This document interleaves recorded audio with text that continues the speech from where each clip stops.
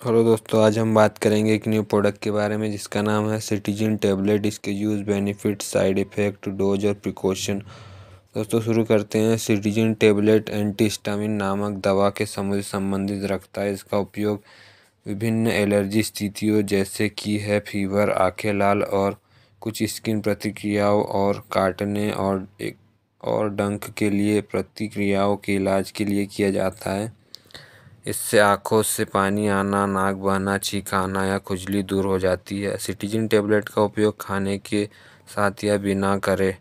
आप इसके लिए जो खुराक ले रहे हैं, इसके आधार पर आपके लिए आवश्यक खुराक भिन्न हो सकती है। यह दवा आमतौर पर शाम के समय ली जाती है, लेकिन इससे कैसे लेना है, इसके बारे में अपने डॉक्टर की सलाह का पालन करें।